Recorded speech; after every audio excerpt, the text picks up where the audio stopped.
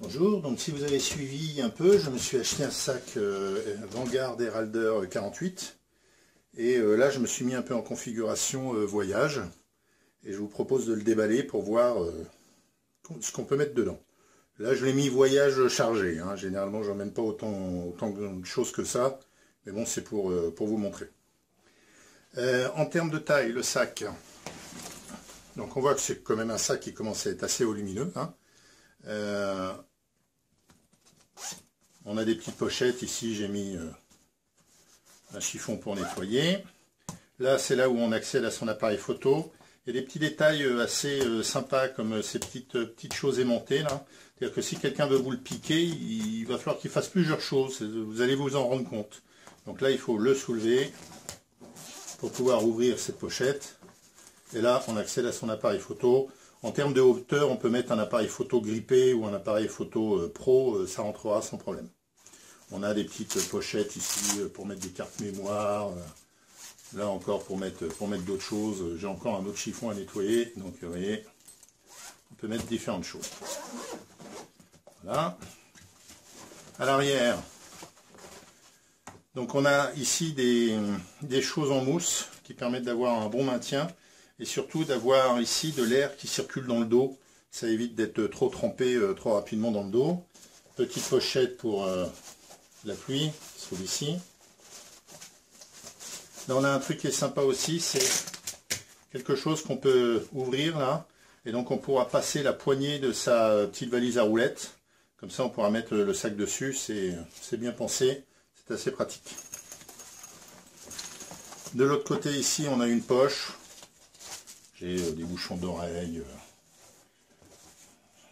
J'ai un truc pour me cacher les yeux euh, dans l'avion. Et là, ici, on voit qu'on a une autre poche. Là, on va pouvoir sortir une housse qui sert à mettre un trépied. Donc, euh, j'en ai pris un juste pour vous montrer. Alors, en fait, on peut l'accrocher ici pour que ça soit bien stable. Un petit, truc. comme ça, elle ne bouge plus. Et on peut mettre son trépied. On peut l'accrocher ici avec euh, cette lanière euh, pour qu'il soit stable. Je pense personnellement que je vais plus utiliser cette poche pour euh, mettre de l'eau, par exemple, une bouteille d'eau. Ça sera, à mon avis, euh, plus pratique.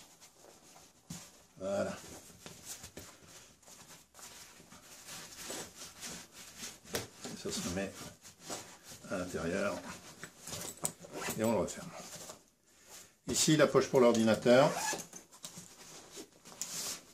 Vous pouvez mettre l'ordinateur directement euh, comme ça dedans, hein, parce que euh, c'est plein de mousse. Là, c'est un 13 pouces, mais on peut mettre jusqu'à un 15 pouces euh, à l'intérieur.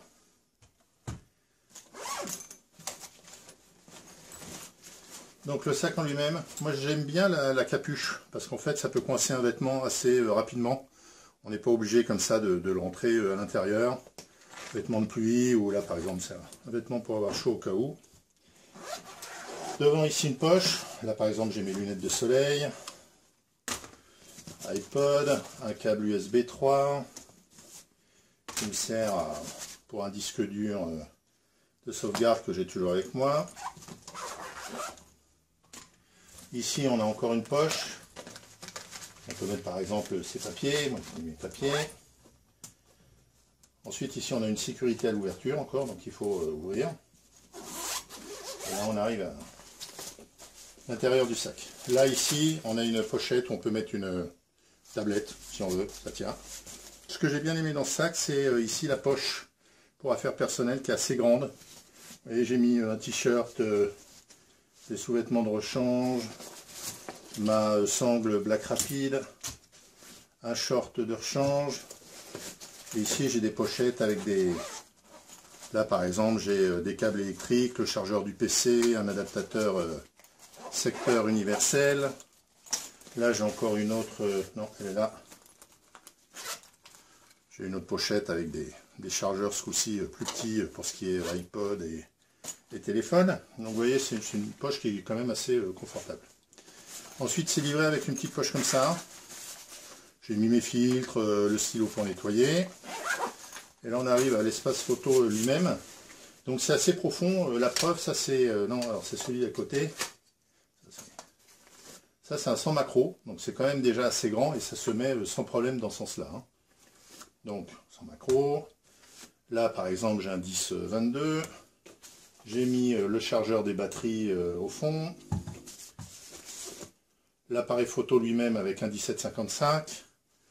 Si on retire euh, la poche derrière, là on peut mettre un 70-200 de 8 euh, sans problème.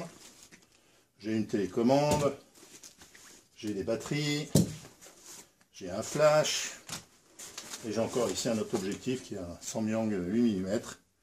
Voilà, donc là c'est tout ce qu'il y avait euh, à l'intérieur.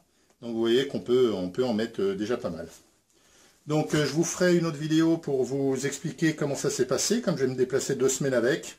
Je vous dirai après deux semaines, est-ce que j'en suis euh, content comme maintenant, ou est-ce que finalement euh, je l'aime pas du tout. Voilà